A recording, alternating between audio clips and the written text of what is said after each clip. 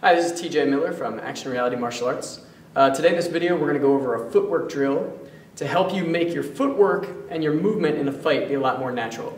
Uh, this is one of the first things I teach my students and I cannot emphasize enough how fundamentally important this is to you as a fighter. Uh, you want to be able to control the range in a fight. Uh, if someone's a really good kicker and you can always avoid being in kicking range when you're not throwing a kick, they start missing you, it'll really help up your defense. You want your footwork to be really natural, all right? Just like when I get done with talking to you here and I walk over to turn off the camera, I don't have to think about the walking. I don't have to think about put this foot in front of this one, put this foot in front of this one. All right, I just move. And you want to move that same way in a fight.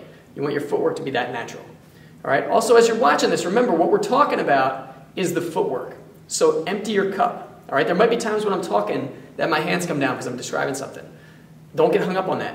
All right, Yes, there are a lot of things that are important in a fight. Keeping your hands up in your defense is super important. Using proper body mechanics while you're throwing a punch, super important. But right now, like I said, empty your cup and look at the footwork. Look how it works. Try to really critically analyze what you do. Watch. As I watch this video later, I'm going to look at stuff, I'm going to see stuff that I don't like that I'm doing.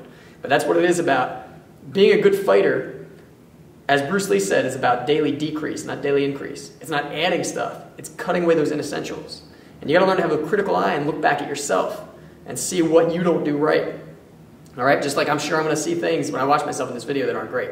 But look for the truth in there that you can use for yourself. If you've never done this footwork stuff, it'll really enhance your game as a fighter if you really practice it and you get to where your footwork and movement's natural. Uh, if you look at any of the, a lot of the classic Jeet Kune Do books by Larry Hartsell, Tim Tackett, this starts their books. This, you know, the first chapter is all about footwork, and it is fundamentally important. Uh, especially with Jeet Kune you want to control the range. All right, you want to be able to get in, attack your partner, and then get away before they counterattack. Keep them out of range so that you start being able to intercept them as they come in. Okay, if you try to intercept a punch from your partner's punching range, you're probably going to get punched in the face because there's always going to be a faster guy. All right, but when you start making them attack from out of distance. That's when this stuff's going to start working. All right, so really practice this footwork stuff. It's going to help enhance everything else you do as a fighter. All right, so take a look at this stuff, see what you think, and happy training. All right, this is our first movement. This is movement number one. This is a step and slide movement. And what we're going to do is we're going to be advancing. So I'm going to move forward. I'm going to push off my back foot. My feet expand and then they contract.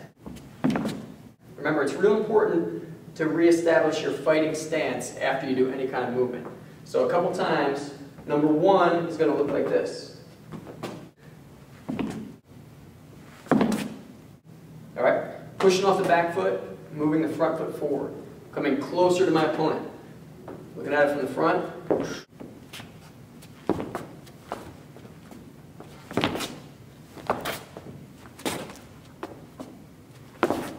Okay? If you want to, as you get better with these, start adding an attack. Simple at first, you can do a jab.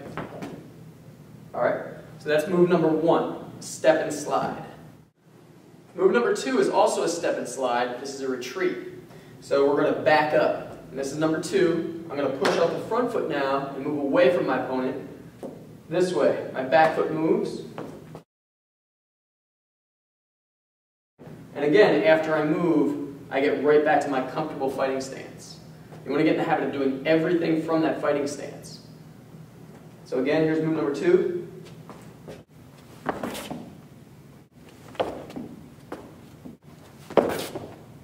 So step and slide back. And again, you can add the jab to it if you want when you're moving, or other attacks too as you get more advanced.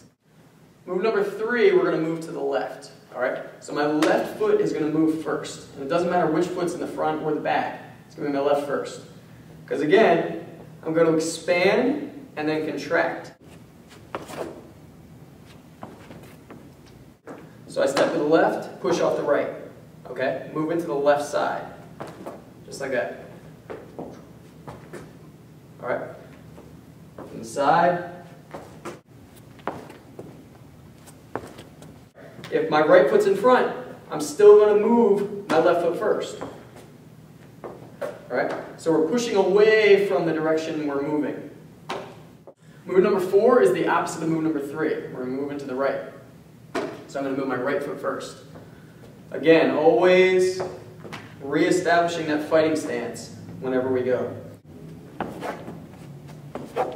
It's also something you can notice here is you notice there's a line between my feet. My feet are staying pretty much shoulder width apart when I'm in my fighting stance. So here's move number four.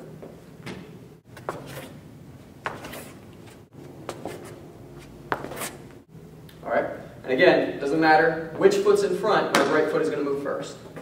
All right, so from a right lead, I step this way. From a left lead, I step this way.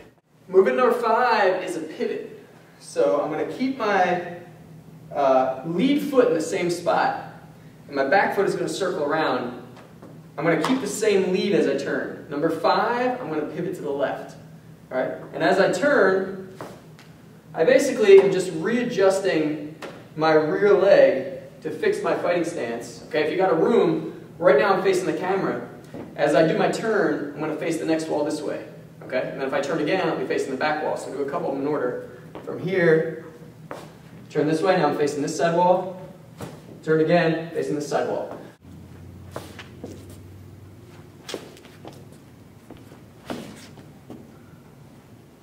Uh, one way you can think about that Imagine there's a, a, spike through your foot, or you're standing on a lazy Susan or something, or a little turntable. So this foot, if you notice, really isn't moving.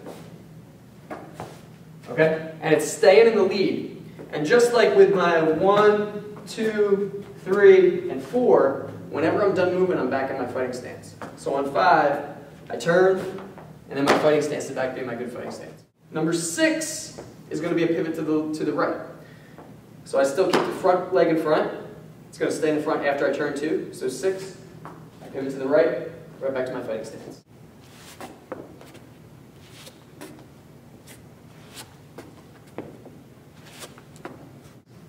And it's the same, no matter which foot's in front. My right foot's in front now. So this is going to continue to be my lead foot. So five and six. And you can do that with your punches as well.